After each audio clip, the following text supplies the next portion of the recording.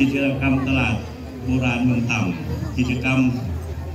แสดงศิลปะวัฒนธรรมต่าง ๆ จากนักเรียนและชุมชน และการแสดงแสงสีเสียงที่จะนำมาแสดงในค่ำคืนนี้ในชื่อชุดการแสดงบารายสายทางแห่งชีวิต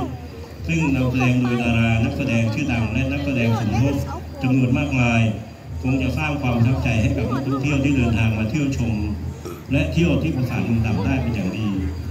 ขอบคุณคณะผู้จัดงาน ผู้มีส่วนร่วมในการสนับสนุนการจัดงานในครั้งนี้